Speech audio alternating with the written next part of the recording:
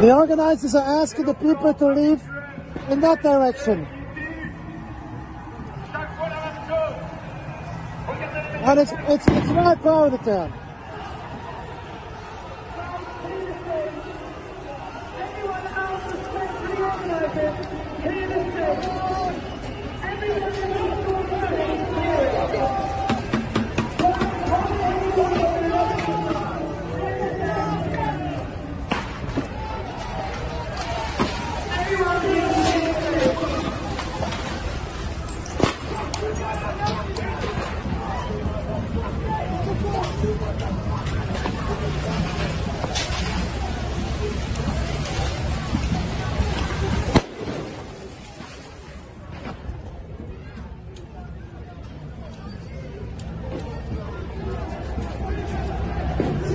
So uh, for the people who were there for the first part, it was peaceful. About three hours and more than three